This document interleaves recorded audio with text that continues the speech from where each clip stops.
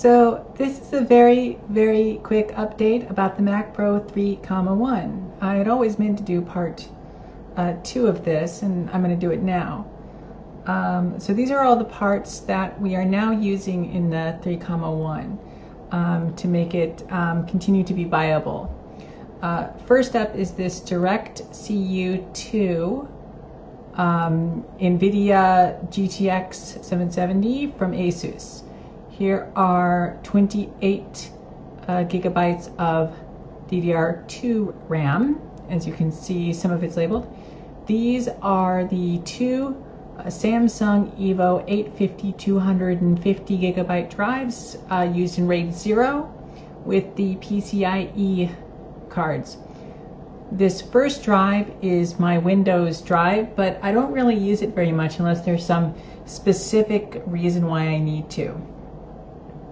Uh, the next drive is my backups. Uh, it's a one terabyte drive. Uh, both of these drives are 7200 RPMs.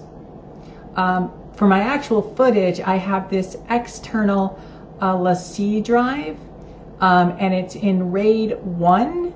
So um, basically, if one drive fails, you know, we're hoping that the uh, other drive doesn't because it's mirrored, right?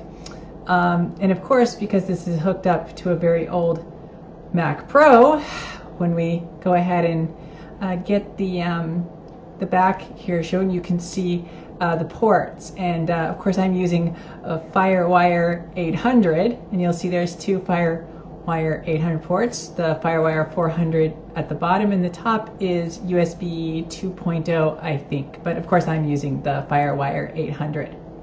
All right, let's go ahead and boot it up and see what happens. Does it work?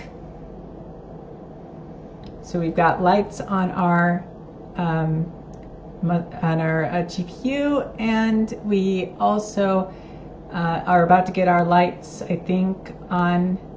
Let's see. Do we have lights on our SSDs?